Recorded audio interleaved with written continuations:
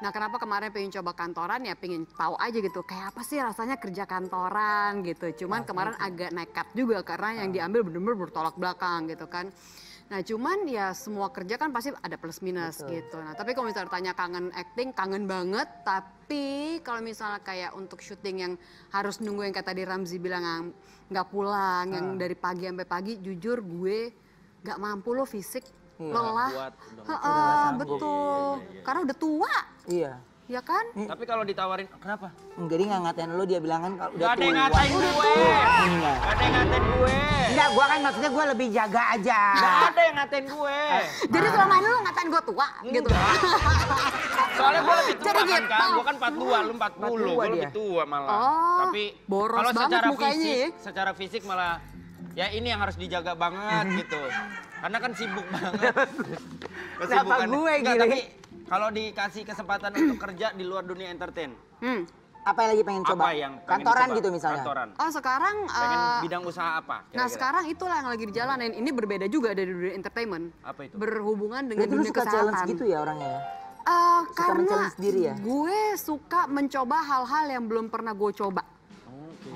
gitu jadi karena gue pengen ngetes diri mampu atau enggak gitu kan jadi ya gitu. Kalau sekarang jadi ada hubungannya dengan bidang kesehatan. Kebetulan ada sama partner teman-teman dokter kita buka klinik kecantikan kesehatan tapi agak jauh nih posisinya lokasinya di daerah Tangerang Balaraja sana.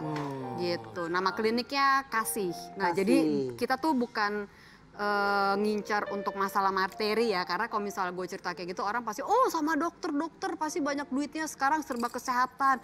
Enggak kita justru malah di sana itu sosial. Jadi malah eh, ada orang-orang yang memang kurang mampu. Jadi kalau misalnya mereka mereka jadi kita sediain kotak gitu ya.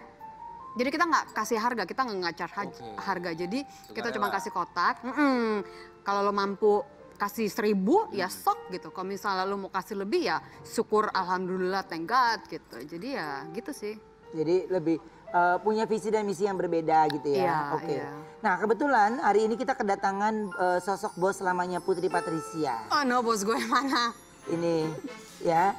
Coba kita panggil langsung hari ini. Jadi eh, kayak apa sih Putri waktu di Iya, kantor gitu betul, kita pengen, pengen tahu, tahu. banget ya. Eng, ini dia. Bos Putri Patricia.